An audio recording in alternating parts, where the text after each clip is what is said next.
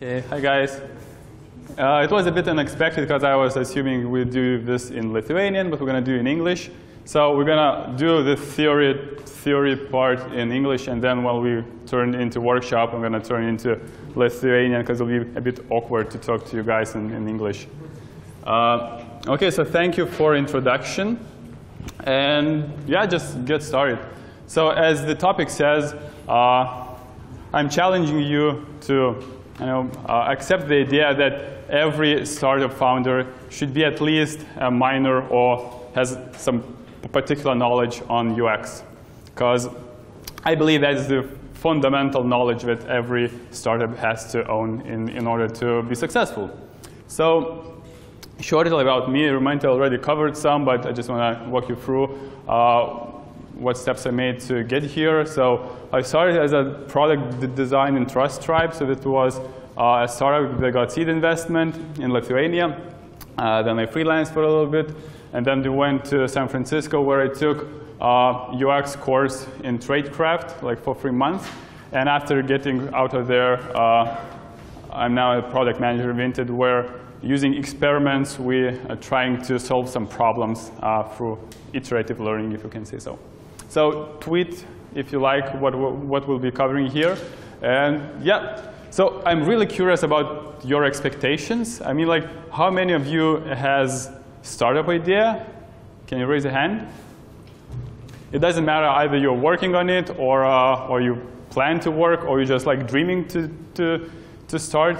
That's important. And another question is, how many of you tried going, reach out to uh, your customers, your potential customers, and ask for a feedback? Can you raise your hand once again? Cool, nice. So every one of you, either you try to reach out to customers and validate the idea, we, we, at least I, I, think we can put some structure on how to do that in, in better ways. If you haven't, you get a knowledge on actually how to do that, because you know, it doesn't sound that obvious, at least for me when we started Trust Tribe. Uh, so that's the fundamental question. For, I think like before starting, everyone want to know like what are the lessons, like what are the possible problems that we can face and how we can hedge those risks. So uh, I think there are some questions uh, and like many questions, when we start uh, any kind of startup, we have so many unanswered questions. Some of them might be like, OK, who's going to use our product? Like, why those people should care about what, what, what I am doing? Uh, uh why people will be uh, ready to pay? I mean, like, pay money, pay time, pay attention, doesn't matter. But like, why they should invest in what we're doing? Um, like if we know already that part, so what functionality is the main important, and like the last part, like how everything comes together. So usually what, what I see people are doing is, is like having idea and having lots of assumptions and saying, okay, that's okay, I have like idea, let's build stuff. And the problem with that, that we don't try to empathize enough with our customers. We just assume we know, but we, have, we don't really try to validate that knowledge. And I think that's the biggest, uh, the biggest potential problem for young, young startups. So in tradecraft, uh, the whole tradecraft school in San Francisco was established because the founders uh, noticed that the majority of, of startups fail not because of IT knowledge, like lack of IT knowledge, because all the programming uh, are so, so well documented. So if you want to build at least something similar, like simple or not even so simple, it's, it's, it's, quite relatively easy to build stuff nowadays. Like if you want to launch the simple website, you don't even have to know like a line of code or like know a, a bit of design. So that's a not a challenge anymore. The startups fail because of non-technical skills that they lack. So in, in, in tradecraft, there was uh, three main categories of those non-technical so-called traction roles. So is user experience, business development, and growth hackers, so more marketing guys. But for uh, early, early stage, uh, there's two main categories that, uh, that should be um, the be best established, so UX and business development.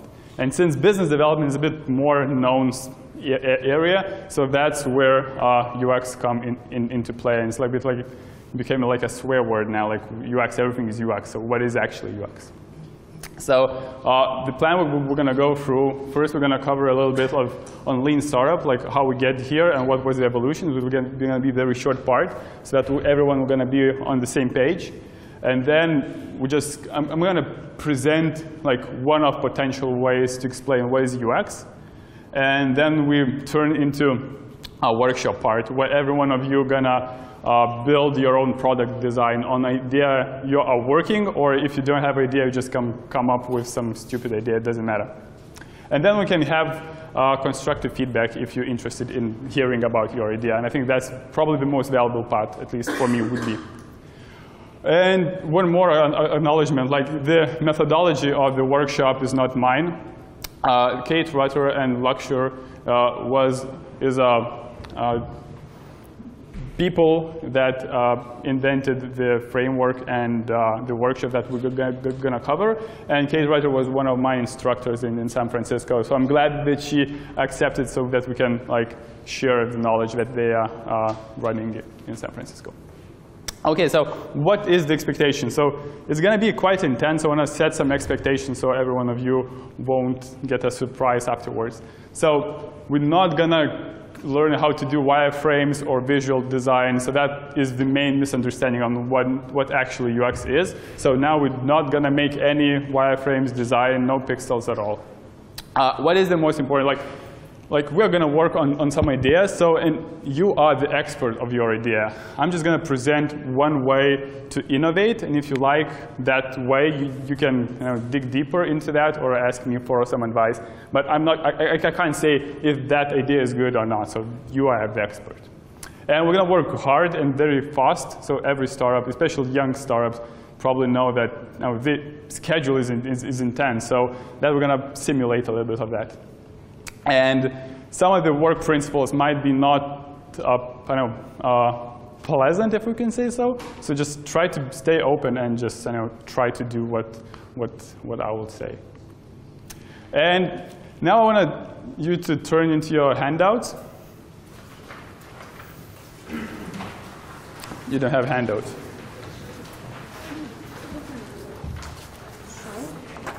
Kelis Mhm, okay.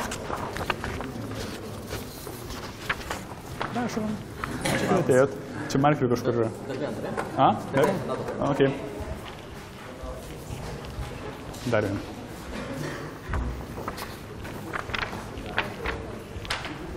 Markerių kažkur turėtų būti. Sveikas gyvas ir tavo, kaip pigiausia. Ką? Ne, čia dar viskas gerai. Uh, okay, can we turn in Lithuanian here? Because I was just going to present. So, kadangi mes viso seminaro metu mėgins, kiekvienas mėginsim išsivystyti idėją, kurią, sakau, kiekvienas arba mes dirbame, arba turim galvoje, jeigu neturim, tai tai susigalvokite. Tai norėčiau pradėti su tuo, kad kiekvienas tą idėją, idėjai suteiktumėm tam tikros struktūros. Ir tą struktūrą galima suteikti tai vadinamą idėjos molekulę, kuris susideda iš trijų dalių. Tai reiškia, pirma dalis yra žmonės, tai reiškia, kokiais, kokiem įsivaizduojam klientą mes nu, teikiam tą kažkokį sprendimą. Tada yra problema, su kuria mes įsivaizduojame, kad tie žmonės susiduria ir galiausiai sprendimas, kuris tai yra. Tai aš pateiksiu pavyzdį, kuri, per kurį mes irgi eisim viso seminaro metu, kad galėtum iliustruoti kiekvieną iš pratimų. Tai kaip pavyzdys galėtų būti uh, produktas, kuris vadinasi žvėrelių auklė. Kokie yra žmonės? Tai žmonės yra jauni aktyvūs žmonės, kurie augina naminius gyvūnėlius. Ir tie žmonės turi problemą, kadangi jie daug keliauja, tai jiems sunku pasirūpinti augintinių išvykus. Ir dėl to jiems sunku planuoti laiką, spontaniškas išvykas, nes turi daug visokiausių planų ir reikia prisiderinti prie to, kad kažkam reikia pažiūrėti tą gyvūnėlį. Irgi sprendimas būtų platforma paieškai, kas galėtų prižiūrėti augintinį savininkų išvykus.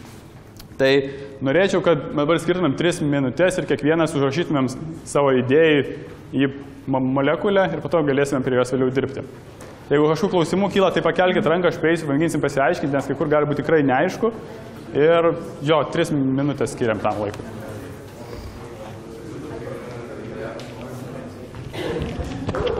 Sunkumo turbūt problema, ar idėja. Ar pagal save kaip galim ir Šioje vietoje, vietoj manau, kad galima surašyti, kaip man varo atrodo, nes vėliau mes tam, jeigu matysim, kad vėliau ta idėja, nu kažkiek gal per platė, arba per siaura, tai ją pasikūruoti. Dabar tiesiog vat, tą, kai idėją, ką mes turim galvoti, tiesiog užsirašom, kad turėtume. Jo. Na, okei. Ir Dar svarbu, kad jeigu žmonės turite idėją, su kuriomis nu, norėtumėte jas vystyti, bet tarkim nedrįsate jomis pasidalinti, tai čia yra ta vieta, kur tikrai reikėtų dirbti su savo idėjom, kurias iš tikrųjų norite vystyti, nes, nes, nes visa esmė apie tai yra.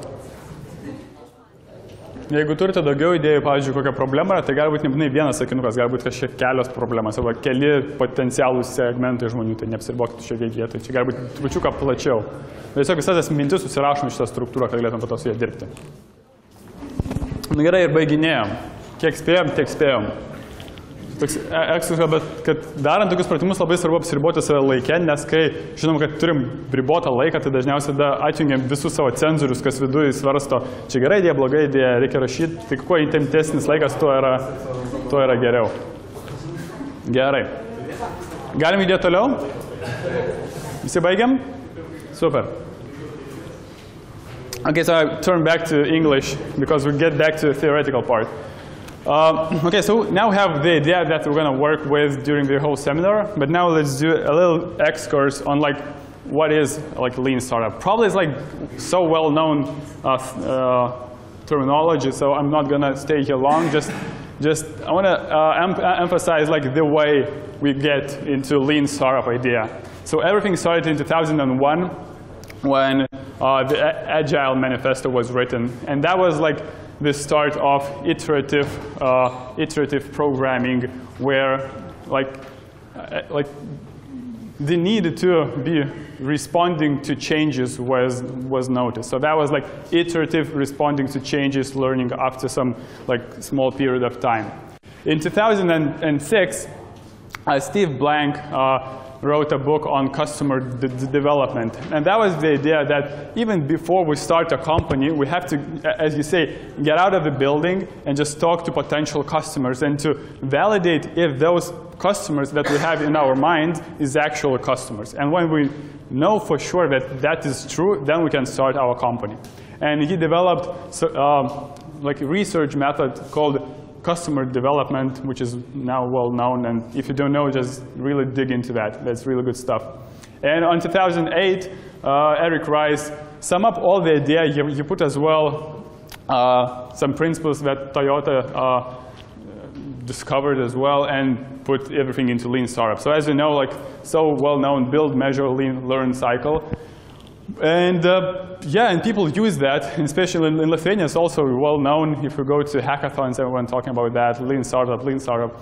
But when we were doing a startup uh, for, um, for, for Trust Tribe, we knew that there's a structure once we start building our product. Like once we start building, okay, there's a Scrum methodology, we can do iterations and all that, that, that stuff, and we can build MVP and then launch as soon as possible, and then learn on, on the statistics that we get, and then iterate. So that is well known, like there's no new stuff here. But what at least we were struggling was on idea phase. Because like when we just think about the idea was so many unanswered questions, it was so chaos in, in our head. And at least at that time I didn't know that we can put some structure as well on that phase. Because when we launched our product, we had so many untested hypotheses that we just got to know somewhere here, but we could get those answers like just here if we knew how to do that. So that's, I think, the biggest misconception of what is lean startup is all about. And what is boiled to, so we have to validate idea first. And if we try to validate the first ideas with writing code or like pushing pixels, we're, we're already lost because that's too expensive and takes too much time. So everyone else will do it faster and way cheaper. So we're lost. So if we try to do a validation phase trying to emphasize with the uh, customers and try to like dig deeper into their I know context, what their needs and goals are, and we can put some experiments, we can put some numbers on that, and we, if we test the idea like on that method, the chance of success is way higher.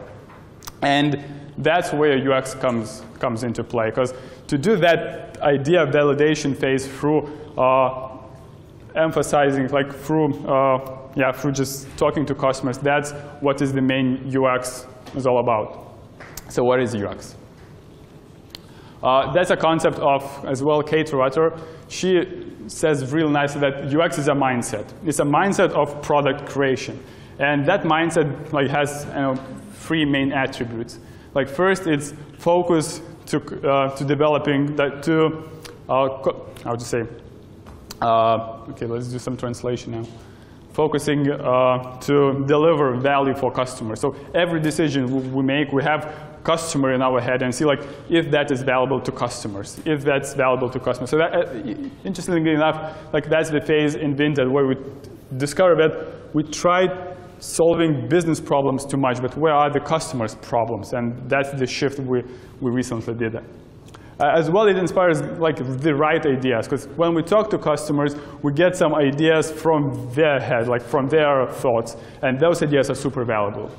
And the last thing, but not least, it helps to make right decisions. Because if we have to judge, for example, design, if it's a good design or bad design, we can you know, uh, judge it because of our tastes, but that's the wrong decision. If we can get into our customer mind and say, like, what would customers said about that design, so that's the right uh, judgment on decisions. Uh, we got those questions that we show, I showed uh, in the beginning. So that's what UX is trying to answer, like all those customer-related uh, questions. So if we put some structure in that, we can clear out into into, into like some more schematic way. And if you put even more structure, we get lean UX stack. So that's Kate Rutter's idea to put everything into the stack. And if we go through up, downwards, we go from very narrow assumptions and then we go deep, dig deeper and deeper. So starting with the customers, then we go to the needs and goals, understanding like what are the needs of those people that I'm trying to reach out. And then we go to users and see like what are the best value proposition I can give uh, responding to the needs and goals I, I, discovered. And then we go to functions and, and features, like what are the features that I have to build in order to, to, to deliver that value that I discovered that people actually wanting. And then we go to product. And just in this phase where all prototypes, wireframes, and design comes into play. So that's important part of, of UX, but it's like really, really in the end. Uh, yep, so that's where all the theoretical part ends. And now we turn into actually building our own product. So, I don't know, shall I just turn into Lithuania now? Cool. Pagaliau. tai gerai, tai Dabar, kiek pasidarėme mes, apsirašėme idėją ir viso dabar mūsų o, tolimesnio veiks, veiksmų o, tikslas yra pažiūrėti, kaip galime tą idėją naudojant naudotojo UX principus, kaip mes ją galime m, pasivaliduoti ar suteikti struktūrą būtent tą idėjos validacijos fazai. Ir pratimų tikslas, bent jau ką mes galime pasiekti dabar, tai reiškia, mes galime šiek tiek susisiaurinti idėją, nes būtent tai padeda fokusuoti. Startupai dažnai linkia spręsti didelės problemas, bet nu, mes galim tikrai pagerinti sėkmės šansą, jeigu mes pradėsim ties kažką mažo pradžioje ir tada pridėti kažką daugiau. Tada galima pradėti tikrintis, ar tos mūsų hipotezės, kurias mes priemame eigoje, ar jos yra teisingos. Tai tam labai svarbu, kad visi tie pratimai, kuriuos mes darom, tai nėra kaip, kaip, kaip, kaip koks uh, uh, nu, verslo planas, kurį mes savaitę rašom, rašom, bet sėdė kambarį ir tada turim jau verslo planą ir čia jau yra nauda. Šito visa esmė, kad tai turbūt gyvas dokumentas. Mes pasirašom, sudedam savo visas hipotezės, tai identifikuojam, kas kokias mes hipotezės šiaip priėmėm ir tada bandom tas hipotezės tikrai patvirtinti, naudodami kažkokius tai metodus, kuriuos galėsim vėliau apie tai pakalbėti. Ir galiausiai suteikti tam tikros struktūros idėjos validacijai, kas, tarkim, kai mes darėme Trastraibą, buvo žiauriai chaotiška. Tai pradėsime nuo personos, tai reiškia pats, pats viršutinės a, naudotojų patirties dizaino žingsniukas. Ir šito žingsnio esmė tai yra Jeigu mes esam kalbėję su kažkokiais tai vartotojais, mes gal turim kažkiek tai konkretesnį vaizdą, kas mūsų tas vat, vartotojas yra. Jeigu nekalbėjom, tai reiškia, mes tiesiog turim susigalvoti. Bet kuo konkrečiau mes įsivardinsime, tuo bus lengviau mums pažiūrėti, ar tas vartotojas, apie kurį mes galvom, iš tikrųjų yra mūsų vartotojas. Tai pradėkime nuo pavyzdžio, tęsiant tą idėją apie žvėrelių auklę. Tai papasakosiu, vat, kaip galėtų atrodyti vienas iš, iš, iš kliento personos profilių ir tada pamėginsime tai pasidaryti patys. Tai susipažinkite su Elena, jinai turi katę, yra 27 metų. Jinai dirba projektų vadovė reklamos agentūroje. Šiuo metu dar neturi vaikų ir uždirba apie 3500 litų per mėnesį. Uh, jinai labai dažnai prašo draugų ar artimųjų pagalbos prižiūrint katę, nes dažnai išvyksta. Pavyzdžiui, 2-3 kartus metus dažniausiai važiuoja atostogų, užsienį, bent jau savaitgalį kažkur ten jam sardama išskris pas kažkokius draugus. Ir dėl to jaučia kaltę, kad tinkamai nepasirūpino kate, nes myli augintinį, bet nu, kiti yra prioritetai svarbesni. Ir vasarą važiuoja 3-5 kartus, 3 kartus į festivalius. Ir kokias jos yra uh, problema arba poreikiai, tai reiškia, nereikia pagalbos prižiūrint katę. Jis neturi laiko tinkamai pasirūpinti augintinę ir jei būtų žiauriai fainai, jeigu jinai turėtų galimybę lankščiau planuotis laiką ir neprisirišti prie to, kad nu, reikia prižiūrėti katę. tai susideda iš tokių keturių dalių. Turime portretą, turim tą demografinę informaciją, faktus, tada įsivardyjame jos elgseną, ką jinai daro, kad tas simboliz, nu, identifikuoja, kad tai yra mūsų klientas ir tada koks yra, nu, kodėlgi tai atlieka tokius veiksmus, tai reiškia ta tokia a, prie, nu, nežinau, motivacija. Tai va.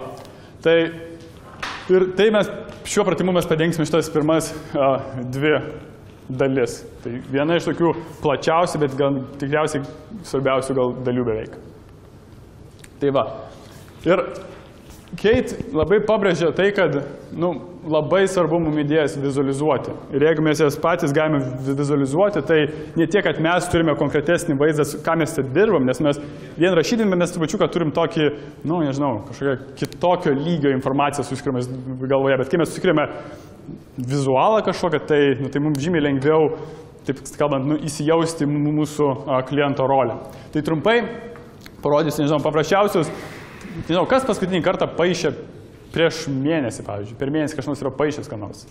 Per mėnesį. Per mėnesį, bent kartą ką nors nupaišęs. Super, labai gerai. Taip, tai papaišysim dabar. Tai pats principas yra labai paprastai. Tarkim, šiuo atveju mums reikės nupiešti mūsų uh, klientą, situaciją, kur jisai susiduria su ta problema, apie kurią, kurią mes norėtumėm išspręsti. Ir tam reikėtų paprasčiausiai susidaryti tam tikro konteksto. Tai žmogų nupiešti labai paprasta, tai angliškai vadinasi tas starman, tai mes tiesiog nupiešiam galvytę, tada rankytes ir biškilgesnės kojas. Turime žmogų. Tada, nežinau, tarkim, tai yra vyras, tai sudėsim jam kepurę. Tada, pavyzdžiui, jisai dabar, nežinau, tarkim, gal jaučiasi piktas, ar ne? Tai vien naudojant akytės, burnytės ir antakiai ir jis pasidaro piktas. Ir čia gali pasakyti, nu nežinau, tarkim, gali būti linksmas, gali būti liūdnas, liūdnas būtų toks. Tai žinau, vien šitais trim elementais mes galime suteikti kažkokią tai emociją žmogui. Tai čia galime šitą ištrinti. Ir dar labai svarbus kontekstas, nu, kokioj aplinkoje tai jisai susiduria. Pavyzdžiui, čia mes matome, kad tai yra laukia. Tai keliais brūkšniukais mes galim pavaizduoti namą, galim pavaizduoti mašiną, kad jau žinom, kad jis keliauja, kad yra katė, kuri liūdna laukia namie ir sako, o, noriu valgyti. Tai va, tai tas jau kažkaip mums padeda labiau įsijausti to kliento vaidmenį. Tai pavyzdžiui, jeigu tai yra namų erdvė, tai mes parodome nežinau, sieną, galim nupiešti duris, tarkime, langas, jau žinom, kad tas žmogus yra namie, gal tik tai ne, neužilgo grįžo, pavyzdžiui, jisai piktas dėl to, kad, a, nežinau, pavyzdžiui, kas čia galėtų būti, tarkime, šalituvas tuščias, nieko nėra šalituvai jisai, tuščias šalituvas. Ir čia jisai sako, aš alkanas, noriu valgyti, bet grįžau iš darbo ir, ir grįžtu namo, vakaras, čia menulis, o noriu valgyti ir va, nieko nėra valgyti. Tai ką dabar daryti? Iš karto mes galime įsivaizduoti, kas tas žmogus yra. Ir dar labai svarbu tam žmogui su, su, suteikti vardą. Tai pavyzdžiui, žinom, kad jis yra Jonas, tai po to mes vėliau dirbdami galime kalbėti ne apie mūsų klientas, bet galim sakyti, va, Jonui reikia tokios funkcijos, nes jisai grįžo namo, jisai, nežinau, kompas dar nejungtas ir tada jisai gal geriausiai naudos savo telefoną, nes jisai, nežinau, piktas. Tai nužymiai galime įsigilinti į mūsų a, veikėją. Tai skiriam 3 minutės ir nusipešėme savo veikėją. Jeigu kyla klausimų, kelkite ranką, prieisiu, bet suteikėm mūsų veikėjų kažkokią tai formą. Nutrinam Joną. Tai gerai, tai turime savo veikėją ir pradžiai su, suteikime tam veikėjui tam tikrą a, faktinę informaciją. Tai reiškia, kitaip sakant, tai yra demografinė informacija. Ir ta demografinė informacija tai dažniausiai būna amžius, profesija, šeimininis statusas, gyvenamoji vieta. Pavyzdžiui, šiuo atveju turėjimas katės tai irgi yra kaip faktas, nu, nes aš, aš turiu katę. Ir, bet kas labai svarbu, čia, nežinau, galite šiek tiek įsiplėsti, nesiplės, bet pagalvokite, ar va, tas dalykas yra tikrai svarbu mano, nu, identifikuojant, pavyzdžiui, mano veikėją. Pavyzdžiui, nu, galim praeiti čia, kodėl man man, man, man svarbu. Turėjimas katės iš karto, jeigu žmogus neturi jau jau naminio augintinio, tai iš, iš karto jisai iškrenta iš, iš šitos problemos, uh, uh, nu, target, targetinės grupės. Amžius šiaip tai, jisai, pa, pavyzdžiui, jeigu nu, tam tikra amžiaus grupė ganėtinai yra plati, tai galite, pavyzdžiui, jos iš viso nedėti arba, pavyzdžiui, paimti kažką per vidurį. Nes nu, šiuo atveju aš įsivaizduoju, vyresnio amžiaus žmonės gal jau bus netinkami klientai dėl to, kad jie gal jau turės stabilesnį gyvenimo būdą, nebus linkę taip, žinai, keliauti. Dėl to, pavyzdžiui, neturėjimas vai- vaikų identifikuoja, kad tas žmogus tikėtina labiau spontaniškai, nu, gal planuoja laiką, nei kada, jeigu aš turiu vaiką, tai aš vis planuoju, bus jau biškai kitaip. Uh, tam tikra aukštesnis nu, atlyginimas irgi svarbu, kad aš tikėtina, kad galiu daugiau leisti ant savo gintinio, ne vien tik tai tenai mais, maisto jai nu, nu, nusipirkti. Tai vat, pagalvokite iš to per tokios prizmės irgi čia skiriam gal kelias mi- mi- minutės ir susirašome. Jeigu kyla klausimų, ar tai yra faktas, ar tai įdėta kažkur kitur, klauskite, nes čia yra pavojus susimaišyti šitoje vietoje. Bet to mes išsiaiškinsim. Tai vat, kelias minutės skiriam faktų susirašymui. Gerai, tai judam toliau. Gerai, tai turime dabar portretą, kas tai per, per žmogus, žino daugmaž šios demografinį informaciją, kam susigaudo daugmaž, kas tai per segmentas. Dabar prieinam prie tokių labiau abstrakčių dalykų. Tai yra elgsena, kuri nusako, kad nu, tas vartotojas tikėtina yra potencialus mūsų vartotojas. Tai pavyzdžiui, nu, faktas, kad jeigu aš daug keliauju, turiu katę, tai nu, tikėtina, kad tą problemą kažkaip tai jau sprendžiu. Tai vat, kaip tą problemą žmogus sprendžia ir irgi šioje šio, šio vietoje irgi turi būti kokie 3, 4, 5 faktai, būtent tie svarbiausi, kurie identifikuoja, kad nu, mūsų klientas yra mūsų klientas šitas. Ir tam tikri klausimai, galima, kurie gal padėtų suvokti, kaip šitą galima klausimą geriau atsakyti. Tai reiškia, iš kokios elgsenos galima spręsti apie potencialius klientus. Vat kaip galėtum identifikuoti vizualiai iš jų kažkokių fizinių veiksmų, kad va čia mano klientas. Tada labai svarbus klausimas, kaip jas problemą sprendžia dabar. Nes čia toks galima trumpą ekskursą padaryti šalį, kad jeigu mes su startupu pagaunam kažkokią tai problemą, tai tikėtina, kad, nu, netikėtina, bet tiesiog taip yra, kad tie žmonės tą problemą kažkokiais kitokiais būdais yra sprendžia. Nes jeigu jie tos problemos niekaip nesprendžia, tai reiškia, ta problema jiems visiškai neaktuali. Tai tas labai svarbu identifikuoti, kaip jie sprendžia. Nu, ir Elgsen nusako veiksmažodžiai, turbūt kažkokie tai veiksmažodžiai. Tai žinau, irgi gal skiriam ten kelias minutės ir užsirašome uh, 4-5 Elgsenos pavyzdžius. Judam toliau? Ok. Ir pernam prie paskutinio kvadrato. Tai poreikiai ir tikslai. Tai reiškia, ta mūsų, mūsų Elena, ji, nu, jai, jai reikia, kad pagalbos, reiškia kažkoks, nu, jos, nežinau, vidinė būsnė daugiau, kad man reikia pagalbos, kad jinai uh, neturi laiko tinkamai pasirūpinti augintinę, tai reiškia kažkokia probleminė erdvė. Ir jai būtų žiauriai osim, kad jeigu galėtų lankščiau planuoti laiką, tai reiškia kažkokia, vat, nu, tai, ko jinai no- norėtų gauti, bet šiuo laiko metu neturi. Tai kai mes galime klausimais, biški, nu, pa- patikslinti šitą grafą, tai yra, kodėl žmonės atlieka veiksmus, kuriuos išvardome. Tai būtent, kodėl jinai prašo draugų pagalbos priežiūrai, nes reikia pagalbos prižiūrint katę, ne? Kodėl jinai jau, jaučia kaltę, dėl to, kad neturi laiko tinkamai pa- pasirūpinti augintiniu. Tai čia mes už, už, nu, pagaunam tokią jos vidinę motivaciją, vidinę būsną dėl ko vedama jinai gal būtų linkusi uh, susidomėti, susidomėti mūsų projektu. Ir kodėl jie siekia, jo, ko jie siekia taip, taip elgdamiesi. Tai irgi skiriam kelias minutės, peržiūrėkime savo veiksmus, kuriuos įrašėme, pamėginam užfiksuoti būtent tą priežastį, kodėl. Tai kaip tenai buvo daugiau tokie fiziniai veiksmai, ką žmogus realiai daro, o čia yra daugiau nu, būsena, kurioje jisai yra darydamas tuos veiksmus ir kuri veda uh, tą žmogų būtent atlikti tuos veiksmus. Judam toliau? Gerai. Tai dabar turime susirašę visą personą ir pasipraktikuokime pasidalinti tam mūsų idėjomis su kažkom tai kitu. Gerai. Per daug neįsidiskutuojam. Turėsim galą galę tai pasidaryti. Bet pirmiausia, ką žiūrint į savo draugo, galima dėmesio jau? Gerai.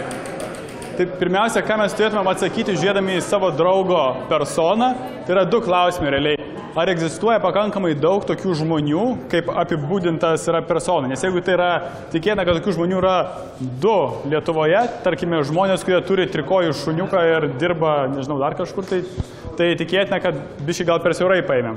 Jeigu tas žmogus apibūdinimas atitinka, nežinau, 50 procentų visos Lietuvos ar pasaulio, tai reiškia per daug plačiai. Tai čia reikia pagauti balansą, nu, ne per siaurai, bet ir neplačiai. Tai čia galima, nežinau, duoti feedbacką, jeigu pamatėm kažką, nu, kažkokio erdvėje. Ir antras svarbus labai dalykas, tai skaitant personą, ar mums kyla idėjų, kaip mes galėtumėm rasti tokius žmonės. Tiesiog, va, reikia dabar, reikia, dabar reikėtų surasti penkis tokius žmonės. Ar žinotumėt, kur eiti ir kur ieškoti? Jeigu taip, tai viskas gerai. Jeigu ne, tai kažką reikėtų pakoreguoti.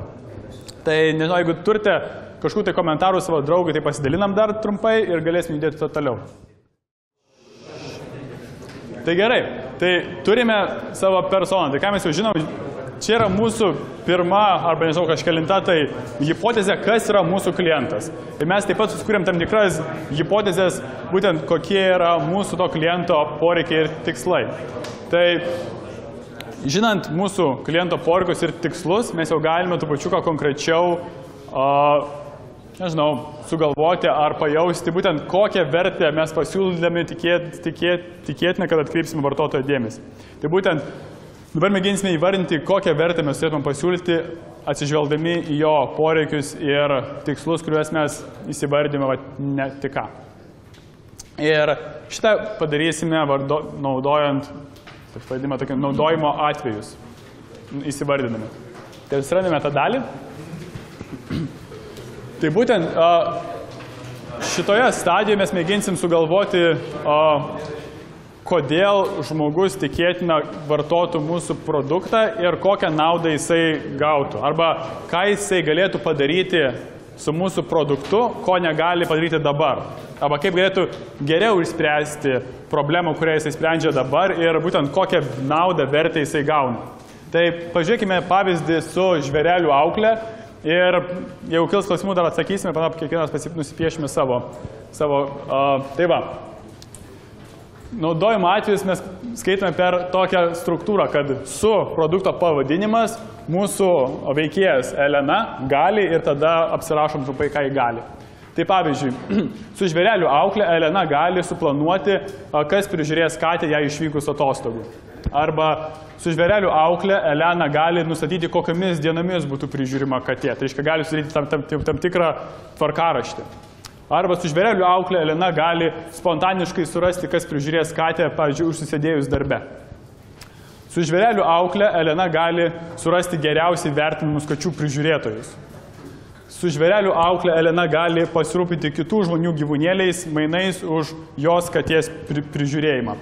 Arba žvėrelių auklė, su žvėrelių auklė Elena gali gauti specialisto pagalbą katėjai su negalavus darbo metu. Tai reiškia, kaip ir tas pats produktas plus minus, bet pažiūrėtas iš skirtingų kampų. Tai reiškia, kiekvienu atveju a, mūsų Elena gauna šiek tiek skirtingą naudą.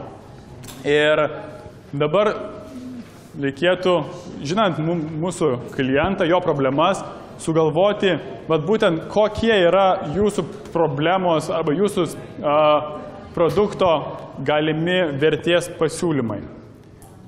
Čia aišku, nes čia gali būti biški neaišku šitoje vietoje. Aišku? Visiems aišku? Ok. Tai ir čia šitai vie- vietoj mes paliečiam uh, struktūros etapą, kur čia susijungia žmonės ir produktas. Ir čia yra tas sąlyčio taškas, kur žmonės susiduria su, su produktu. Tai skiriam penkias min minutės ir nusipešėme a, tuos atvejus ir pasirašom trumpą sakinuką, kuris eitų kartu iš, iš šitos struktūros.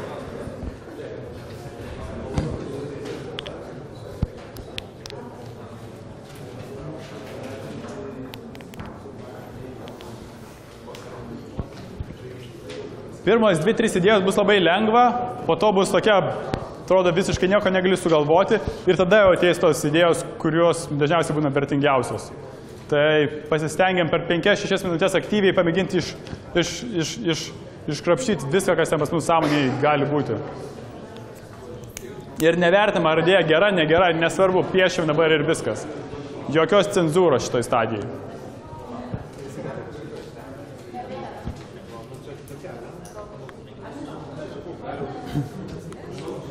Ja?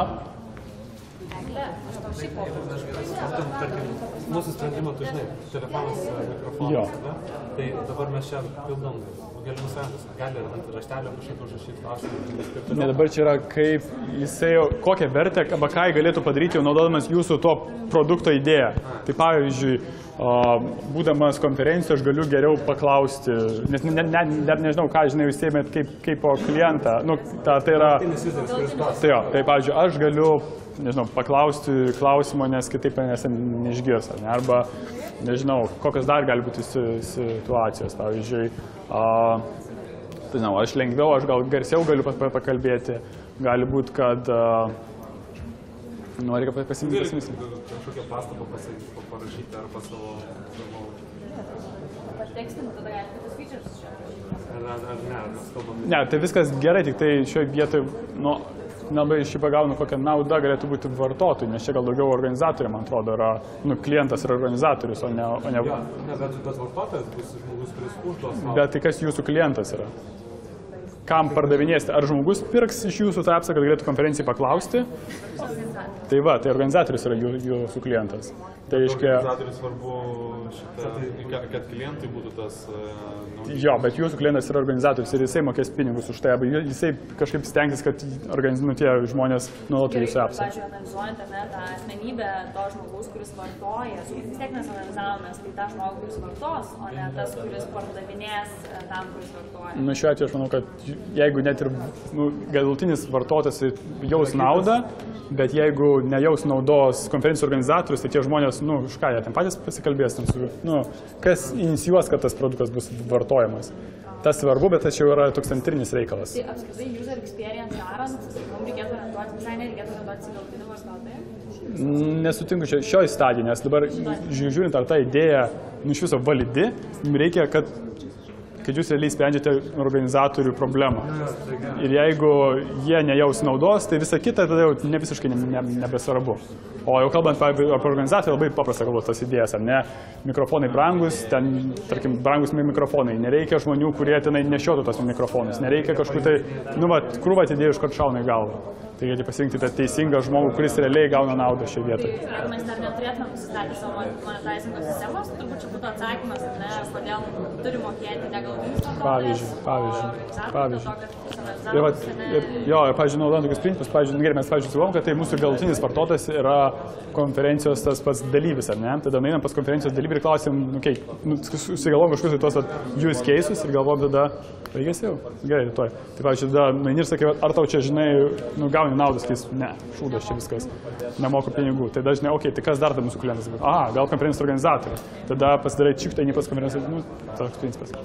Gerai, kaip sekasi? Pavyko? Kas užpildė visus šešis? Kas užpildė penkis? Okay. Kas nieko neužpildė? Super, irgi nieko. Galim įdėti toliau? Galim, galim, galim? Ok. Dabar mes turime šešis vertės pasiūlymus. Reiškia, produktas kaip ir plius minus tas pats, bet priklausomai nuo to, ką mes pasirinksime, labai priklausys tolimesni žingsniai. Ir šioje vietoje vėl atsigrėžiame į savo kaimynus ir parodome, ten gal reikia kažkiek tai paaiškinti, pristatome kaimyną arba tiesiog duodam kaimynui perskaityti tas šešias sugalvotas vertės pasiūlymus ir tegul tas kaimynas pasirenka dvi jam labiausiai patikusias idėjas ir jas kažkaip tai pažymė. O tada, kai gausite savo darbą atgal, iš tų dviejų idėjų pasirinkite vieną, kuris jums patinka labiausiai. Tokiu būdu atsirinksime tą vertės pasiūlymą, su kuriuo judėsime toliau. Tai skiriam 2-3 minutės ir, ir, ir atsirenkam idėją. Ok. Paskutinis žingsnis šitoj vietoj, tai perspėšiam tą savo idėją.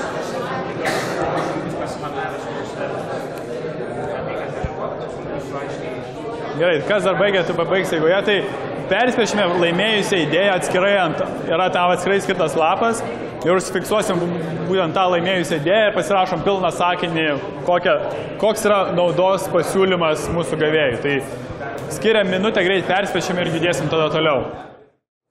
Gerai, judam toliau.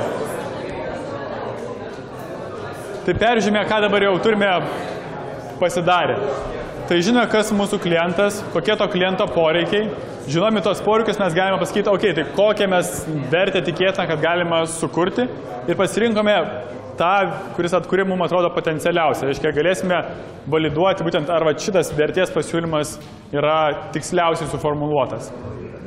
Ir dabar yra tas ta žingsnis, kai jau mes žinome, ką mūsų klientas gali ir nori atlikti su mūsų produktu. Tai dabar yra ta vieta, kur mes galim sugalvoti, kokios yra pagrindinės funkcijos, kad žmogus galėtų tai atlikti. Tai jau šitoje vietoje mes kaip ir sugalvom tą minimal viable produkto feature setą, nuo kurio būtų galima pradėti. Tai šitoje vietoje, nu irgi, sakinys gal vis taip, kad tam, kad žmogus gautų tą naudą, mes turim padaryti šitos featuresus tam, kad nu, jisai galėtų tai atlikti. Tai šitoje vietoje yra sticky note, galite ant jų, galite ten kažkaip tie, tiesiai susirašyti. Surašom tris pagrindinės funkcijas, kurios tiesiog turi būti, kad, a, kad, kad produktas tiektų naudą. Tai jeigu galvojant apie mašiną, tai kondicionierius nėra ta funkcija, bet yra ratai, nežinau, vairas, tai yra gal daugiau, bet užsirašom tos tris pagrindinius a, funkcijas. Kuo siauriau, tas irgi ge- gerai. Tai A, jo, dar čia kas, kad esame dabar jau šitoj vietoj. Tai reiškia, mes jau pradedam galvoti, kaip tas realiai mūsų produktas galėtų atrodyti, vat, kokių dalių tam produktui reikia. Tai skiriam, nežinau, 2-3 minutės ir užsirašome a, pagrindinius featuresus.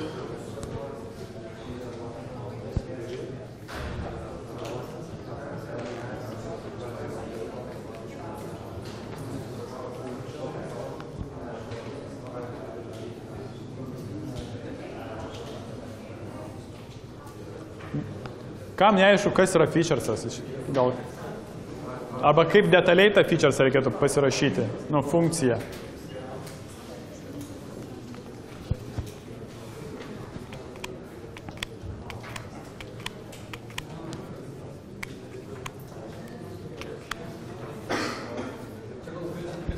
Jo, šis, aš jau mes dar neperžiūrėjom pavyzdžio, bet tai gal ir taip aišku. Nu, galim padaryti tru- trumpą dar, kaip pavyzdžiui, įsivaizduojant tą mano pavyzdį, tai reiškia, kas turi būti? Tai reiškia, turi būti paieška, nu šiuo atveju gal paieška pagal datą, kad jeigu aš žinau, kad aš kada keliausiu, aš pagal paiešką galiu susirasti prižiūrėtojus. Tada aš galėčiau parašyti tam prižiūrėtojui žinutę, tarkim, ar jisai tikrai gali, ar ten, nežinau, dar kažko susitarti. Ir tada gal galėtų būti kažkokia tai rezervacijų sistema, kaip aš galėčiau, nu, nežinau, sumokėti gal tam žmogui, arba gal tiesiog susitarti, kad va, tu jau atvažiuok. Tai nežinau, pavyzdžiui, trys tokie pagrindiniai gal dalykai, kas mano pavyzdžiui yra aktualiausi. Turime jau. Kas turi visus tris susirašę? Gerai, tai judam toliau. Ir prieš jau pradedant galvoti, kaip tas produktas atrodo arba kaip visos dalys susijungs į kažkokią bendrą visumą, mums labai svarbu sužinoti būtent kaip mes išmatuosime, ar tas sprendimas, kurį mes sukūrėme, yra sėkmingas ar ne. Ir šiuo atveju mes turime pasirinkti metriką, pagal ką mes, kaip mes įvertinsime produktą, kad, jisai, nu, čia gerai, ar, čia gal biškai nepakankamai gerai. Ir, pukšt. Jo. Ir irgi iš Lean viso ju- judėjimo yra tokia idėja, kad yra one metric that matters. Tai reiškia, ypatingai ankstyvo steidžo startupams labai svarbu susikoncentruoti į vieną konkrečią metriką ir ją stebėti ir pagal ją įsivertinti, ar mes gerai darom ar negerai darom. Nes jeigu mes pradėsim ten žiūrėti krūvą metrikų, tai pasimesim, tai vadinamą information puke ir tada bus ne kažką.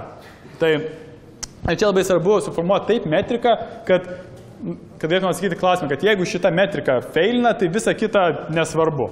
Tai pavyzdys galėtų būti įsivaizduoti mūsų tą rezervacijos ir prižiūrėtojų sistemą. Tai, pavyzdžiui, procentas vartotojų, kurie bent kartą užsirezervavo prižiūrėtoją per mėnesį.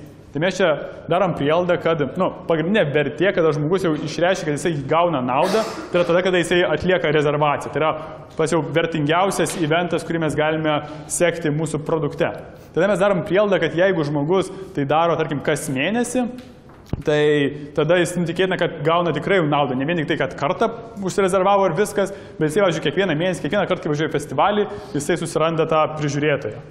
Tai turim tomaž įsivardę, kas yra tas vartotojas, kuris tikrai gauna naudą iš mūsų produkto. Ir tada, žinodami šitą statistiką, mes prieš darant produktą galime įsivardinti, tai kas mūsų yra tas a, linija smėlyje, kurią mes, nu, tarsi norime pasiekti. Tai reiškia, galim galvoti, okei, okay, 10 procentų visų vartotojų turi uh, užsirezervuoti prižiūrėti bent mėnesį. Nu, tarkim, žinosim, kad vat, jeigu pasieksim tokį tikslą su kažkais, tai tada reikia atsižvelgti į verslo logiką, į kažkokį tai marketingo, kai mes tas srautus atvesime, bet vat, jeigu pasieksim šitą, nežinau, liniją, tada žinom, kad viskas ok ir tada judėsim toliau. O jeigu nepasiekėm, tada grįžtam atgal, galvom, ok, kodėl neveikia. Tai nu, tokia logika. Ir kaip padaryti, kad ta metrika būtų gera. Tai yra tokie trys gal tokios taisyklės. Tai viena, kad tai turi būti kažkoks tai skaičius, kažkokia, nu, tiesiog, tai čia gal taip aišku. Antras, kad jie turi būti palyginama laike. Nes pavyzdžiui, jeigu yra puslapių peržiūros, sakysime, mano, pus, mano uh, svetainėje yra 10 tūkstančių puslapių peržiūrų. Tai nežinau, kaip tas laikė, iš viso bevertė metrika. Ir dar nebūtina, bet labai awesome būtų, jeigu jinai įtraukia kažkokį veiksmą, ką žmogus atlieka. Ir tas veiksmas yra tas, kas identifikuoja, kad tas žmogus gauna naudą. Tai galim pažiūrėti pavyzdžius. Pavyzdžiui, kaip sakiau, puslapį peržiūros yra iš viso niekinė metrika. Tai, pavyzdžiui, registruotų vartotojų skaičius. Angliškai tai vadinasi vanity metrics. Tai reiškia tokia, kur labai smagu jomis pasigirti. Mes jau turime ten, nežinau, milijoną registruotų vartotojų, bet tai realiai nieko nepasakė apie mūsų verslą. Gal mes ten per kokius ten spaminės kampanijas susigeneruojam, pasiūlom jiem kokį nors, nežinau, kažką tai dramblį, jau užsiregistruoja ir kas iš to. Tarkim, naujų vartotojų per savaitę procentas jau kažkiek geriau, bet, pavyzdžiui, šiuo atveju visi įsi, įsivertina nu, mūsų puslapio augimą. Jeigu mes kažkaip tai bandysime matuoti augimą, gal gera metrika, bet, pavyzdžiui, mūsų startupui, ypatingai tai labai labai pradiniai stadijoje, nu, šitą metriką kaip ir nieko nepasako, nes, nu, ar mes čia gerai ar blogai, nepasakysim. Ir tada jau visai nieko gal metrika būtų procentas vartotojų apsilankančių bent kartą per mėnesį. Tai reiškia, jau galime žinoti tam tikrą retention angliškai būtų, kad nu, kiek žmonių grįžta. Bet šioje vietoje irgi, lab- kaip ir trupučiuką nepakankamai aišku, nes nu, gal jie grįžta dėl, nežinau, kažko tai šiaip, gal tarkim dėl kokių mūsų marketinginių veiksmų. Ir jie gal grįžta, bet jie kažkas jiems, nežinau, yra kažkoks barjeras, dėl ko jie netlieka rezervacijos. Tai kaip ir gal gerai, bet nu, nepakankamai gerai. Ir jau tą pa- paskutinę metriką mes jau galime žinoti, kad va, tie, tas procentas vartotojų, kurie bent kartą per mėnesį užsirezervavo, tikėtina, kad jie jau gauna naudą. Ir mums tai reikia, nežinau, tų tokių vartotojų turėti, nežinau, kažkokią tai procentą. Tai pasirašom vieną metriką, kuri būtų pati svarbiausia išsimatuojant jūsų to feature seto produkto a, sėkmę. Tai skiriam kelias minutės ir užsirašom, susigalvom tą metriką. Čia kalbate apie tai, kaip mums sekasi su vartotojais, ne? Jo. O kokias metrikas reikėtų dėti, kaip vartotojams sekasi su mūsų produktu? Tai čia jau būtų kaip priežastis, dėl ko mes nu, pasiekėm kažkokį tai tikslą ar ne. Tai čia, nu, žinau, čia reikėtų. gauna galiausiai pradėti tą vertę. Jo. Bet nu, čia būtų tokias gal jau priežastinis dalykas, kur tikėtina galima tavo knistis ten giliau pavyzdžio. Ne? Kad jeigu mes, pavyzdžiui, matome kad rezervacijų labai mažas kiekis, mes galim tada sudaryti tam tikrą funnelį, ar ne? Kad, pavyzdžiui, žmogus ateina į puslapį, tada žmogus ten, nežinau, su- susiranda vartotoją, tada galim žiūrėti, kur labiausiai nu, tas mūsų funnelį praleidžia. Ir tada, pavyzdžiui, žinom, kad vartotojai kažkodėl nueina į profilį, bet uh, nesirezervuoja. Tada gal, nežinau, tada gali daryti tam tikras assumptions, kodėl taip gali būti. Tada gali susitikti su žmonėmis, padaryti usability testus, pažiūrėti, gal ten kažkas nesupranta. Arba gal koks bugas iš viso yra. Tai jau tada toks jau, žinai, ieškai, ko- kodėl šitas neveikia. Bet vadinti turbūt vat kažkokia viena konkreti metrika. Galim judėti toliau? Tai cool. Tai turime metriką. Tai bam pažiūrėti dabar, ką me- mes jau turime. Tai turime jau visą setą a, ir kaip jisai išsidėlioja a, vertikaliai. Tai šioje vietoje, jeigu viską sujungiam, gaunasi kaip, ganėtinai gal šiek tiek ilgas, bet struktūruotas Tai reiškia, mes galim prie šitą turėdami, galime prieiti prie žmonių ir sakyti, važiuokit mano verslo idėją. tai pamėginsiu aš papasakoti apie mūsų pavyzdį žvėrelių auklę ir žiūrėsim, kaip viskas skamba vie- vie- viename kon- kontekste. Tai mano produktas yra žvėrelių auklė. Idėja yra ta, kad yra žmonės, kurie turi auginti, naminius augintinius, tačiau kadangi jie labai aktyvus, daug keliauja, tai jie tiesiog nespėja tais augintiniais pasirūpinti. Ir mano produktas yra platforma, kur žmonės galėtų susirasti, kas galėtų prižiūrėti jų augintinius jiems išvykus. Tadgi susipažinkite su Elena, jinai 27 metų, a, turi katę, a, gyvena Vilniuje, yra a, rinkodaros spe- specialistė, uždirba apie 3500 litų ir neturi vai- vai- vaikų. Jinai labai dažnai prašo draugų, kad kažkas prižiūrėtų jos katę. Dažnai keliauja, du, kart, du tris kartus per metus keliauja, važinėja va, vasarą į festus. A, Ir susiduria su problemomis, kad nu, jai reikia pagalbos prižiūrint katę. Ir jinai jaučiasi kalta, kad, nu, kad ji kaip ir nepakankamai skiria laiko katei. Bet tuo pačiu ji kaip ir norėtų žymiai lengviau ir spontaniškiau planuoti sa, sa, savo laiką. Todėl Elena su žvėrelių auklė galėtų a, susiplanuoti, kas prižiūrės jos katę, kai vat jinai išvažiuoja. Ir jinai tai galės padaryti, nes pa- pa- padaryti, naudodamasi mūsų produktu, a, galės susirasti prižiūrėtoją pagal datą, tada jinai galės parašyti žinutę tam a, potencialiam prižiūrėtojui ir susitarti dėl priežiūros ir galės užsirezervuoti tą prižiūrėtoją. Ir mes žinosime, kad mūsų produktas yra sėkmingas, a, siekdami metriką, tai reiškia siekdami, kiek procentų vartotojų užsirezervuoja žvėrelių auklę bent kartą per mėnesį. Nu, ir galima tada sakyti, nu ką manote, ir tada galima sakyti, okei, okay, bet, nu aš manau, kad gal vat, Elena yra nelabai tinkamas segmentas, arba gal šitas yra kažkaip kreivai. Ir Tai va, tai tokia yra istorija. Ir kaip, kaip, kaip tas atrodytų realybė, nes mes, aišku, dabar viską pasidarėme ir, kaip aš minėjau, tai nėra verslo planas, tai nėra, kad mes pasidarėme idėją ir dabar jau viskas, jau, jau galima gyveninti. Mes padarėm čia krūvą, krūvą kažkokių tai hipotezių ar assumption, viskas, tai, kas ateina iš mūsų galvos. Ir krūva dalykų yra, kažkas tikrai nėra tiesa, arba kažko mes tikrai praleidome. Tai Kaip tas atrodytų realiai, tai čia prasideda tas iteracinis lankas, apie ką E- Erikas ir kalba. Kai mes pagalvom, okei, okay, mūsų naudotojai tikriausiai kažkas panašaus į Eleną. Susirandam Elenas ir, ir tiesiog atliekam probleminį interviu, tiesiog pasiaiškint, kokios problemos jinai yra, kok, kaip mes galime identifikuoti. Pagal tuos interviu mes tikrai surasim, kaip papildyti arba kaip patikslinti šitą profilį. Kai jau pakalbėsim su, tarkim, penkiom, šešiom Elenų ir matysim, kad, nu čia kažką jau pagavom, kad jau apibūdina visai neblogai, ar ne? Tada gerai, tada pagal tai, kokią mes informaciją čia surinkam, galima žymiai konkrečiau ir tiksliau atrinkti, tai kokie verties pasiūlymas tikėtina, kad jai bus rezonuos. Nežinau, paprasčiausiai tokiu būdu, kad kaip ir čia pasipiešėme uh, idėjas, galim pasipiešti trupučiuką pla, plačiau sukišti į, į, į, į, į kažkokį tai scenarijų, į tam tikrą lengvą komiksą, nunešti tiem patiems žmonėms, kuriem darėm interviu, kurie yra potencialios Elenos.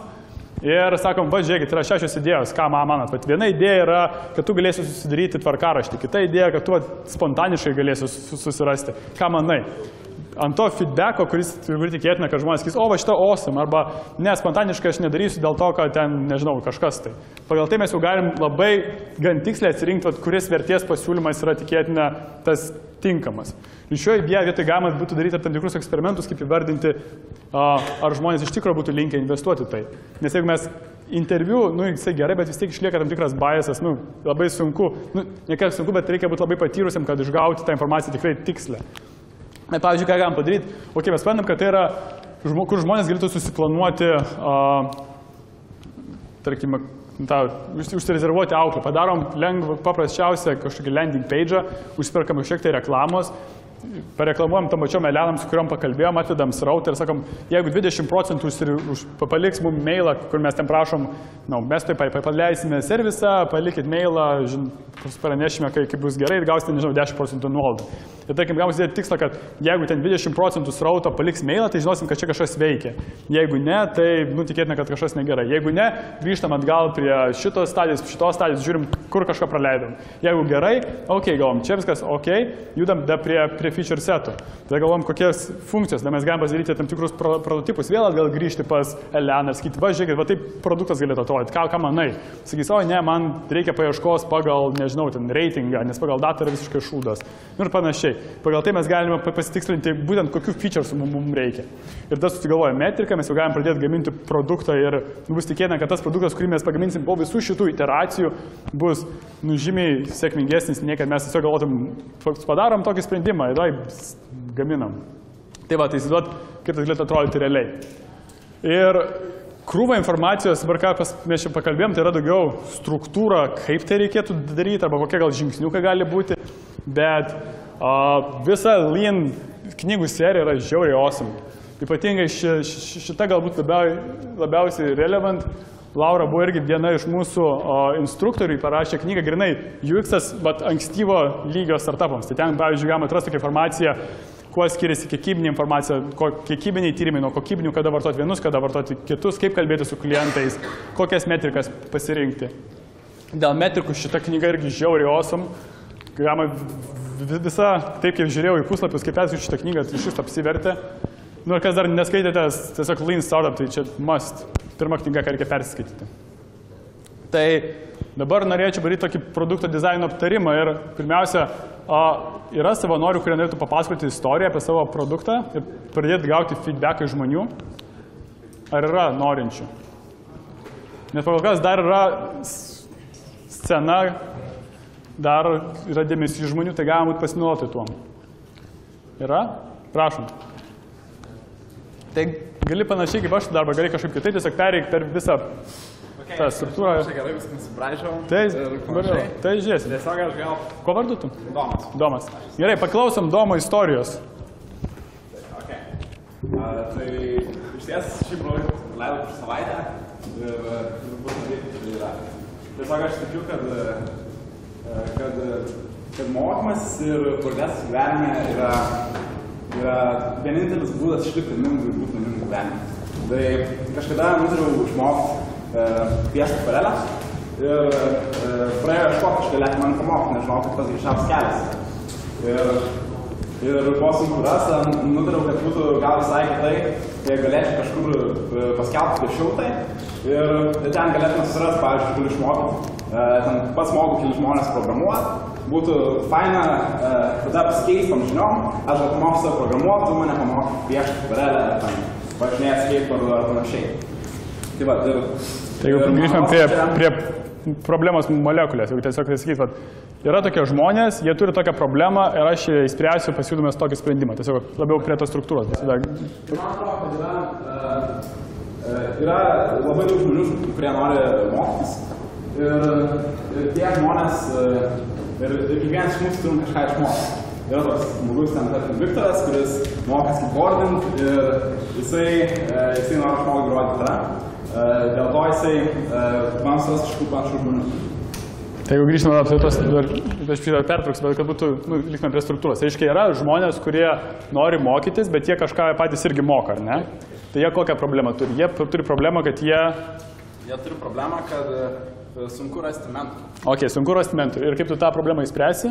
E, Suteikdamas tokią platformą, kur pats tampi mentorium ir Ok. pats ieškama. Ok, gerai. Tai dabar pristatyk mum Viktorą. Okay. Viktoras, jam 23 metai, jis dirba uh, interface dizaineriu ir per dieną praleidžia kokią vieną valandą uh, Facebook'e. Taip pat važinėja riedlentę. Uh, jis pastoviai uh, ko nors išdegęs ir mokosi. Uh, tuo pačiu jis ir didžiuojasi to, kad, uh, ką jis moka. Jis skaito knygas ir bando taip taupyti laiką. Mhm.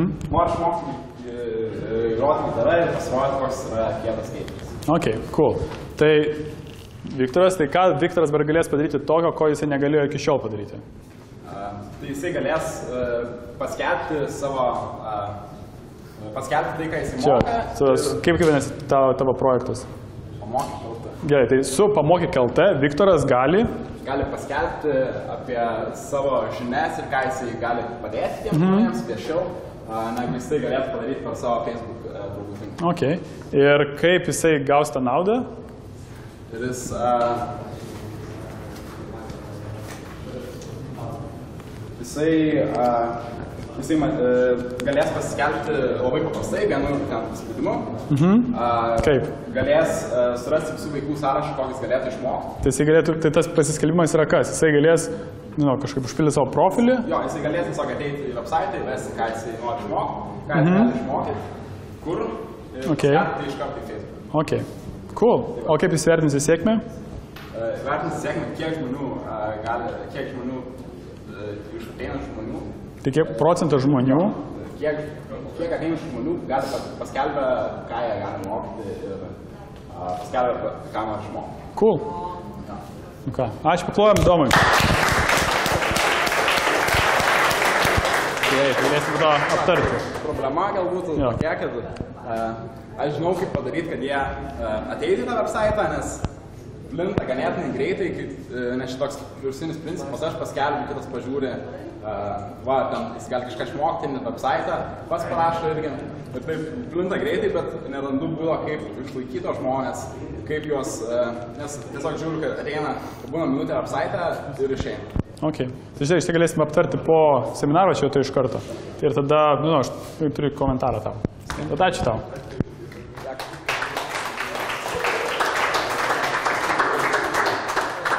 Dar vienas norintis atsirastų, papasakot, prašom. Gerai. Tai irgi, tai stikinamės prie struktūros. Vėl taip pat klausinėsi manęs. Ir... Ne, tiesiog, jeigu, nu, tiesiog, turiu kad tu paimkink tada, sak, nu, išlikti prie tos struktūros, bet šito vat, reikalo. Tiesiog, tada bus žymiai lengviau suprasti pačią idėją, va, visą esmė, kad susistruktūruojam. Gerai, tai žmonės, a, kurie, kurie mano yra klientai, tai yra kavinių, barų, klubų lankytojai, mhm. kurie realiai klauso muzikos, mhm. kurie groja kavinėse baruose. Problema yra ta, kad muzika jiems nepatinka, mhm. jie norėtų išgirsti savo mėgiamą dainą ir pasidalinti Okay. visais, kurie yra viduje. Ir solution tai yra appsas ir platforma. Kuri ką daro? G-Box, nu, jinai suteiktų vartotojams, tai yra klientams galimybę paleisti jų norimą dainą. Ok, cool. Čia. Po to nupiešiau čia žmogus sėdinti bare su Aha. telefonu. Tai vienas iš pagrindinių dalykų, kas, kas jis turėtų būti, tai turėtų būti išmanus. Mhm. Kaip įsivaizduojas, vid, studentas galvoju, gal ir 23 metų, nes daugiau, daugiau mažiau jaunimas. Ok. Ir, ir, ir nupiešiau dar, kad kiti, kad neišgirdo savo mėgamos dainos, tiesiog prisigėrė. ir Taip. šiaip, šiaip jų elgsena, tai jie eina prašo didžėjų, kad sugrotų jų mėgiamą dainą. Aha. A, Taip pat yra dar toks kaip problemos sprendimas, kad jie neieško, nu, jie suranda pačio a- appso pagalba, su kuo galėtų išeiti į miestą kartu, suranda vietą, kur groja patinka jiems muzika. Nu, čia Bet čia barbiškai, pradžiai pristatyk, ką jis dabar daro. Kas tas žmogus, ką jis daro, tas žmogus pagal ką jis spręs. daro? Jo. Tai tas labai labai geras buvo tavo komentaras, kad ateina ir prašo didžėjus suruot muziką, bet labai awesome šitas.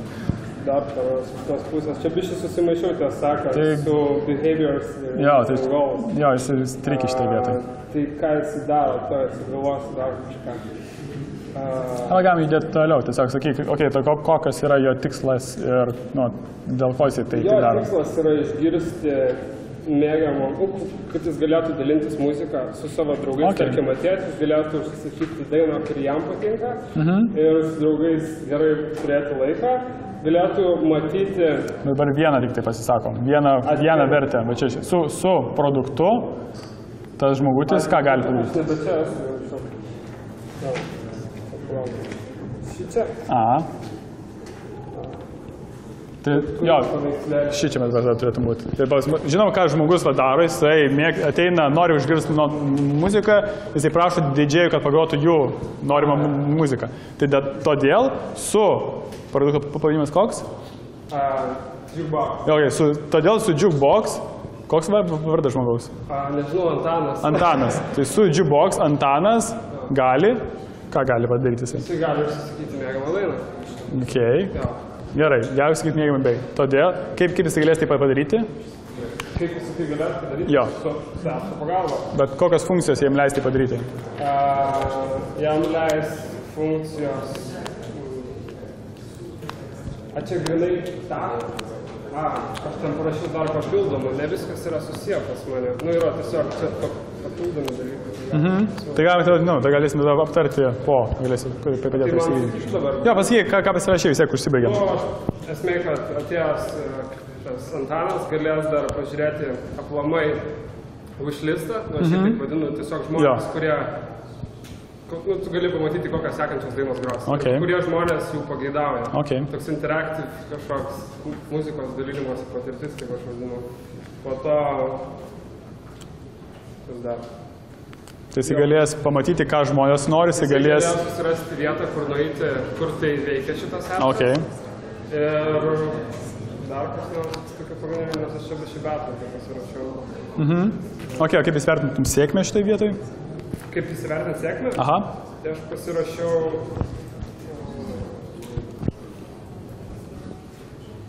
kiek vartotojų ir kiek dainų užsisakė per mėnesį vienoje kavinėje. Mhm. Vidutiniškai kaviniai, tipo, kiek vartotojų daugmaž ir kiek dainų. Ok, cool. Cool, ačiū.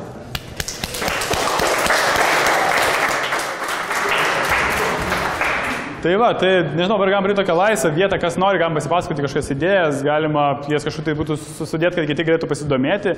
Ir ačiū, kad atėjot. Super. Yeah.